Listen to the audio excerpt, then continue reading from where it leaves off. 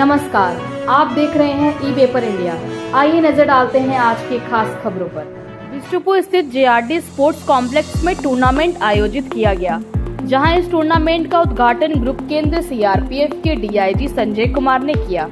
इस मौके पर commandant 106 RAF Nitish Kumar, J R D के स्पोर्ट्स हेड आशीष कुमार सहित कई गणमान्य लोग उपस्थित रहे। इस टूर्नामेंट में जमशेदपुर और रांची से कुल 20 टीमें हिस्सा ले रही हैं।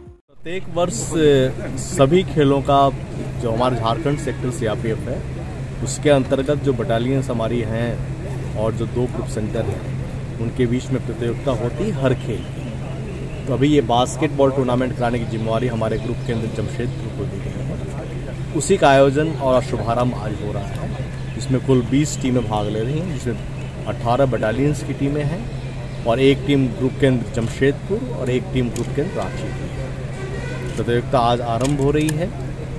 19 तारीख की शाम को इसका समापन। सर कितने खिलाड़ी भाग ले रहे हैं? इसमें कुल जो खिलाड़ी हैं जो प्रतियोगी आए हुए हमारे पास 142 टोटल हैं हमारे पास उपलब्ध हैं। तो खेल के नियमों के अनुसार अपना खेल उद्देश्य क्या है? नहीं जो खेल हमारा हमारा बल जो है खेल को हमेशा प्राथमिकता देता है। और हमारे बल में हर स्तर पर प्रतियोगिताओं का आयोजन होता है। जैसे कि अभी हमारे झारखंड सेक्टर जो है सीआरपीएफ का, उसके अंतर्गत जितनी बटालियन और उपकेंद्र हैं, उनके बीच में प्रतियोगिता होगी। इसके बाद यहाँ से एक सेक्टर की टीम चुनी जाएगी। और वैसे ही जितने सेक्टर हमारे सीआरपीएफ के हैं, सब जगह जो प्रतियोगिता आयोजन के बाद टीम सेलेक्ट होती है।